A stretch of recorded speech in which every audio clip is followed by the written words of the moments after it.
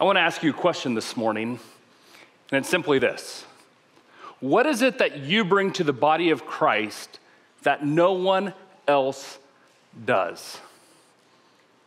Now, when I ask that question of people, typically I get a couple of responses. One of which is this is, is that they, they don't want to answer it because there's this fear of appearing prideful. That if I actually start telling you what I believe I'm gifted at, well, you might just think that I'm an egotistical maniac that, that wants to take over the church, maybe. And so you just humbly say, I don't know. Or, or maybe it's that you're just really unsure of what your gifts are. And in light of that, you just choose to, to not really say anything. But I wonder if there's not another angle to this. An angle where, if we're honest for a moment, that our reluctance to, to talking about what our gifts are really comes from watching others humiliate themselves by serving in areas where truly they are not gifted. 20 some odd years ago, I was serving my home church as an intern, and, and this was over in Gresham, Oregon at Mountain View Christian Church. If any of you know of that church, uh, you'll hopefully you don't know this story, but when I was 20 years old, I did this internship where I said, listen, I want to do a ministry internship. I don't want to focus necessarily on youth or preaching or discipleship. I, I want to get exposed to all the different elements of the church. And so the leader said, okay, we'll let you do that. So they gave me a couple weeks with the lead pastor. They gave me a couple weeks with the discipleship pastor. They gave me a couple of weeks uh, with, the, with the youth pastor. Actually, I got four weeks with the youth pastor. And then they even gave me two weeks with the worship pastor. Perhaps you see where this is going. I have sung on worship teams, I've sung in choirs, I can do that, but let me just be honest with you leading worship is a whole nother thing. And instead of vetting me and putting me through auditions to go, Scott, let's see if you can really do this, they actually allowed me to lead worship at all of their four weekend services. They should have told me no. They should have said, Scott, this is not your gifting. Scott, maybe you should go work in another area of the church. Yes, you can sing, but no, you cannot lead worship. Have you ever seen someone like me in the context of your church? Someone who thinks they can do something, but really Ultimately, they shouldn't be doing the things that we are letting them do because we don't want to have the hard conversations with them to say, perhaps this isn't where you should be serving. And as they do what they do, you just sit there and cringe. Like internally, just like, oh, I feel so bad for them. But maybe it's not the context of someone being on the stage I mean, maybe it's someone who has great command of the scriptures, someone who can not just open up their Bible and read it, but they open it up and they, they aren't sitting there reading it because they have it memorized and they can tell you every different part of the Bible. And so people are like, man, you'd be a great Sunday school teacher. And yet they are someone who struggled to bring the Word of God down to a level that kids can actually understand and, and get excited about. And the kids come home to their parents Sunday after Sunday going, I have no idea what the Word of God is even about. And you're, as a parent, you're looking at it going, but you have so and so leading this, this class. Surely it's got to be good. But if they're not gifted, we sit there and go, why not? They're good. But really, they're missing the connectedness at that age group. Or maybe it's not in a Sunday school setting, maybe it's in a small group setting. Maybe you know that person who is who is so gifted at just being able to talk to anyone. In fact, they love everyone and they, they can walk up to that first time guest at your church and just start engaging them in conversation. And next thing you know, they feel like they're best friends with that person. And, and because they're so good with people, we assume that they would be a really good small group leader. And so we put them into that role, and yet they cannot facilitate a discussion to save their life. And maybe that's your small group leader. And we cringe when people are serving in those places. if time would allow and if Derek would, would be so gracious, perhaps we could have a special session today where we all tell our stories of people who are serving in places where they are not gifted. But I'm not sure that would quite edify the body of Christ.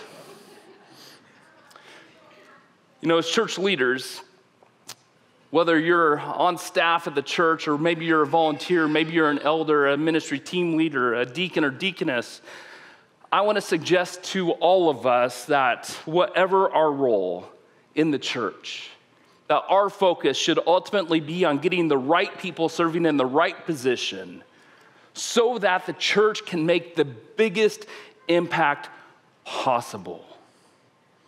As we continue in our study of Romans chapter 12, we are going to find immediately that in humility, we must remain in unity. I want to reread this text that Riker read for us earlier. I just want to read in chapter 12, verses 3 through 5, where Paul writes these words. He says, For by the grace given to me, I say to everyone among you, and not to think of himself more highly than he ought to think, but to think with sober judgment, each according to the measure of faith that God has assigned.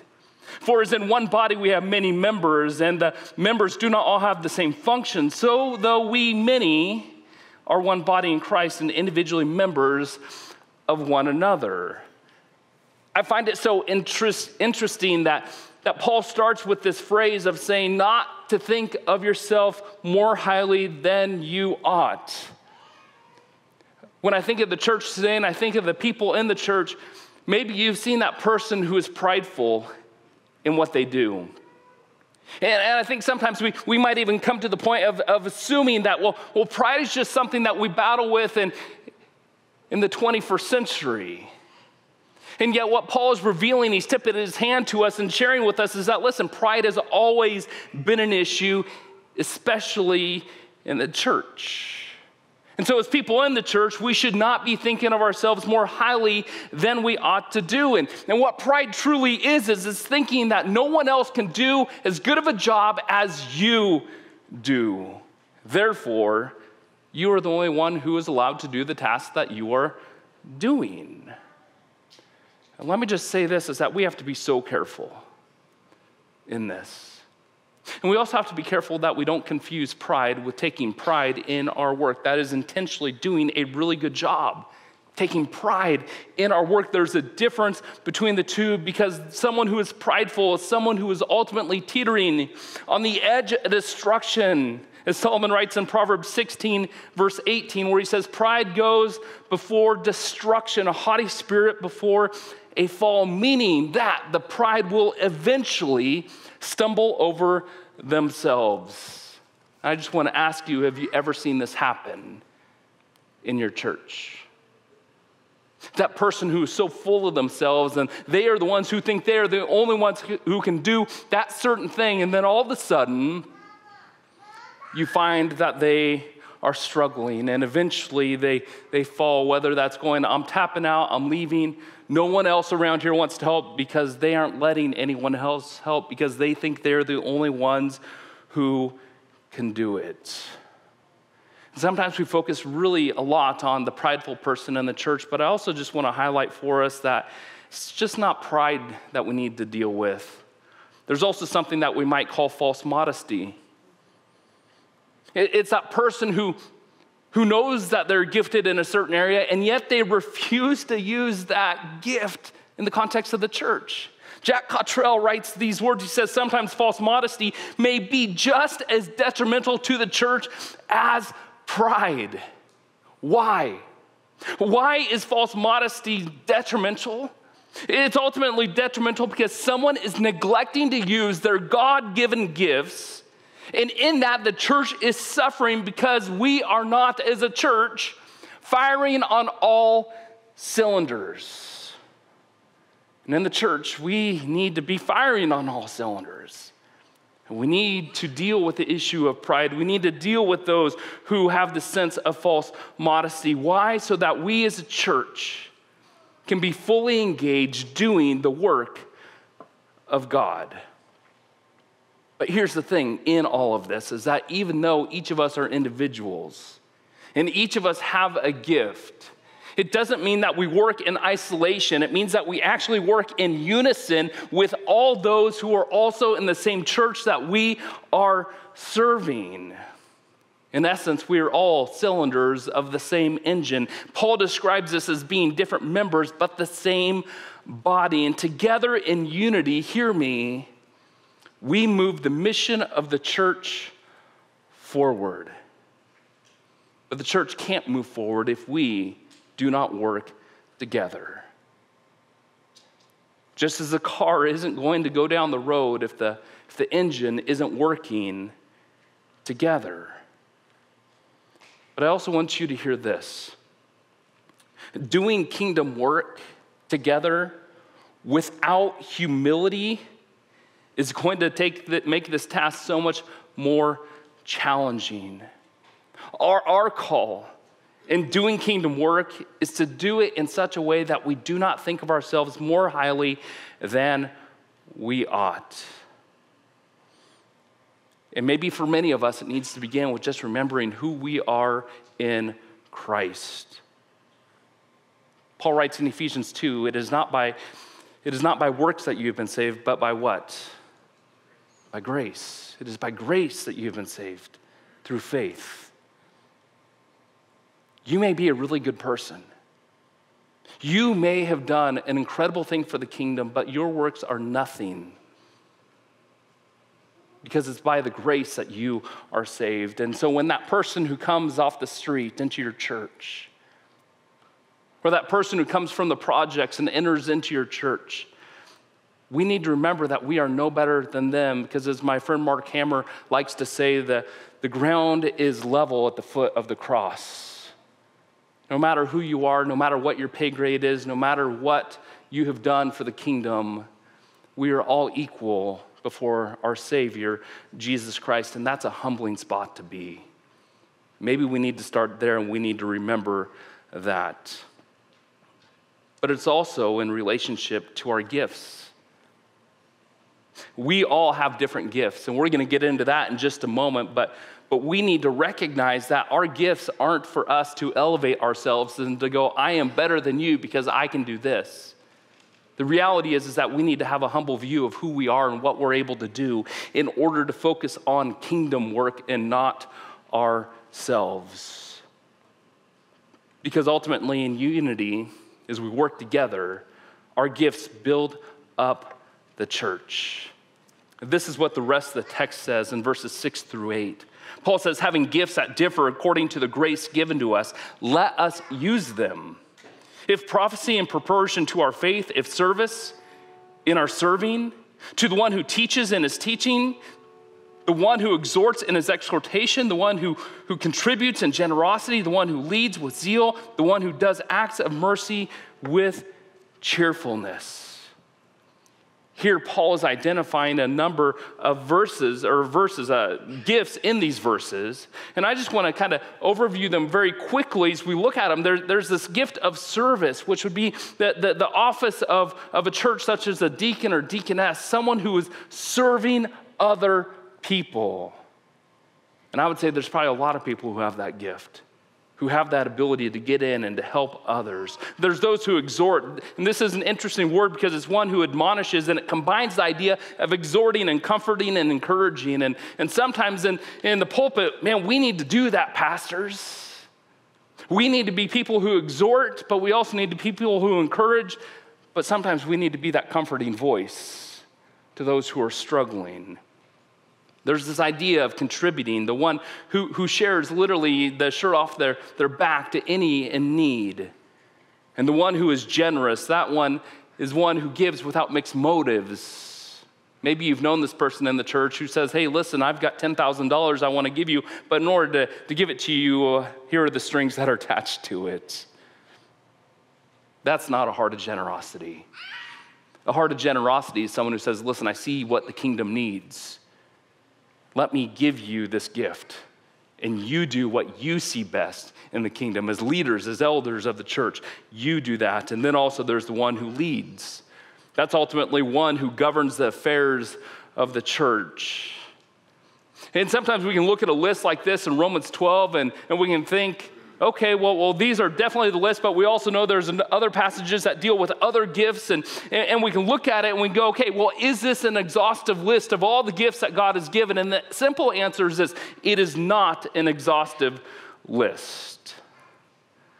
Nowhere in the Bible does it say that these are the only gifts that are given by God. And, and I want to suggest to you that when we take all the list of the spiritual gifts that are written, and we say this is the only gifts that are allowed, then, then we have just put God in a box.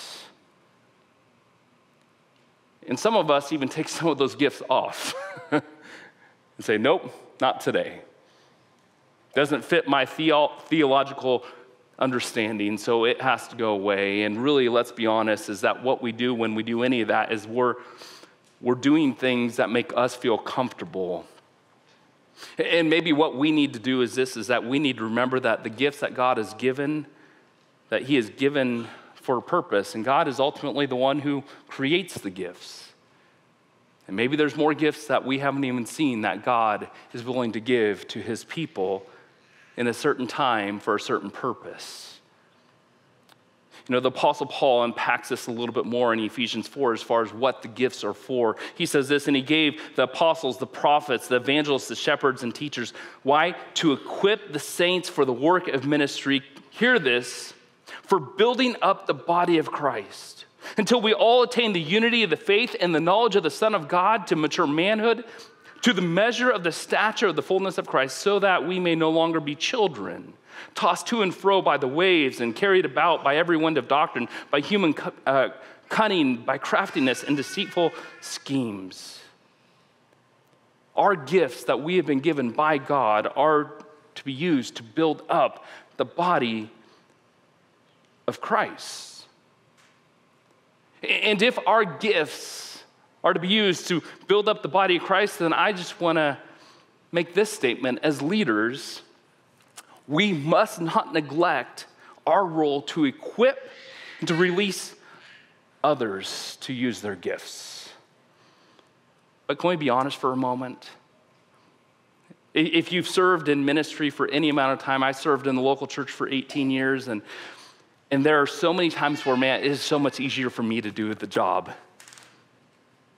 than to ask someone else to do it or, or to even train them to do it. And, and I know, and we all know that, man, if you just take a little bit of time to train that person, that, that they will do it and then that frees you up. But it just takes a little bit more time. But what do we do time and again as we go, yeah, not today. Not today. I am just going to do it because it's easier for me than it is to release and equip others to do what God has maybe gifted them to do. And what we have to remember is that when we do this, as pastors and as church leaders, that we are stifling the growth of the kingdom of God. Our job, our job is to help others reach their God given potential as they use their gifts. The Apostle Peter reminds us of this in 1 Peter 4.10. Uh, he says, and each, as each, has received a gift.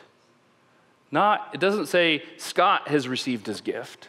It doesn't say Derek received his gift. It doesn't say Cody received his gift. It says, as each has received a gift, use it to serve one another as good stewards of God's varied grace.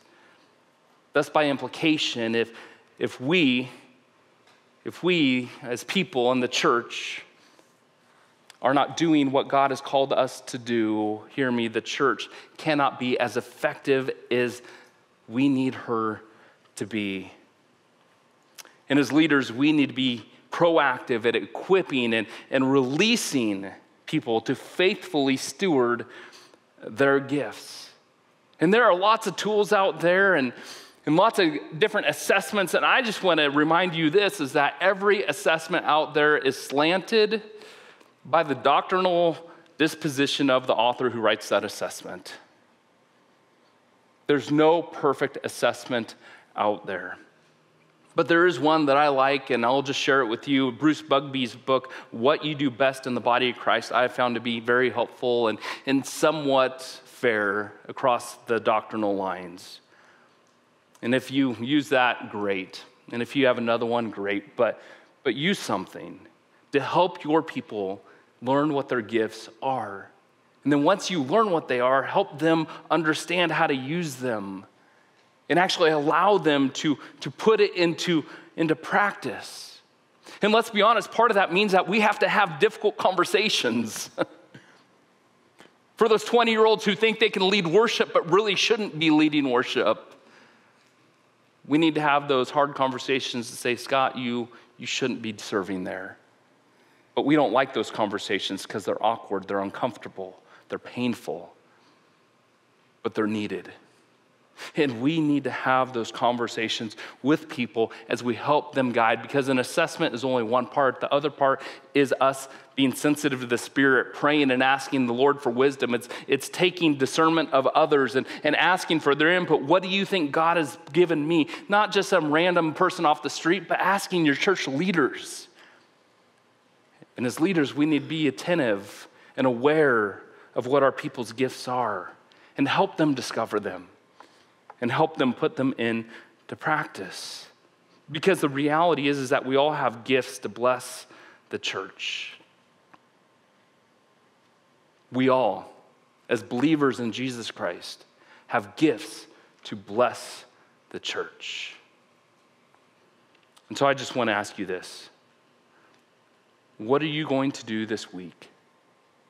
What are you going to do this month? What are you going to do this year to get the right people serving in the right positions in your church so that your church can make the biggest kingdom impact possible. And if you're sitting here this morning and you're like, Scott, I like what you have to say, but I'm not doing any of it because I got it all figured out, I just want to ask you this question. If you're not willing to do anything to help get the right people in the right position in your church, I just want to humbly ask you why? What's keeping you from making the biggest kingdom impact possible in your church? Maybe it's you. Maybe it's time for you to spend some time with the Lord humbly, repenting, and asking Him to guide you to do what is next. See, the kingdom is bigger than any of us. And yet, at the same time, I find it so ironic that, that it's bigger than us, but God chooses to use each of us, each of us, to do His work, to build His kingdom, which is why He needs all of us in the right place with the right gift, using those to build His kingdom. Would you pray with me? Lord God, I just thank you for today. And I just thank you for this opportunity to to just share from your word. And God, as we process what this means for us in our churches, I, I just ask that you would that you would lead us as we perhaps engage in difficult conversations with those who are serving in places where maybe they, they aren't gifted. But God, I pray you'd give us discernment on, on the places where they should be serving so we can not just tell them no, but we can lead them from where they are to where they could be a place where they can thrive. God, help us to, to steward the gifts of those in our church well. So that way, we as a church can make the biggest kingdom impact possible. Because your kingdom matters. When the church is strong, communities become strong. So, God, help us. Help us to lead well. And it's in the name of Jesus that I pray. Amen.